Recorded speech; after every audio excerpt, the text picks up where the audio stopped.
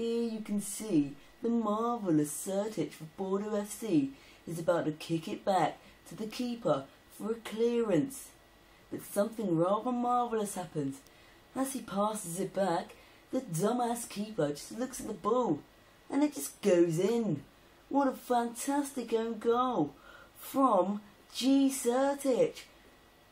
Well, I just recommend you to buy that fabulous keeper on Ultimate Team. Is the full goal. Beautiful.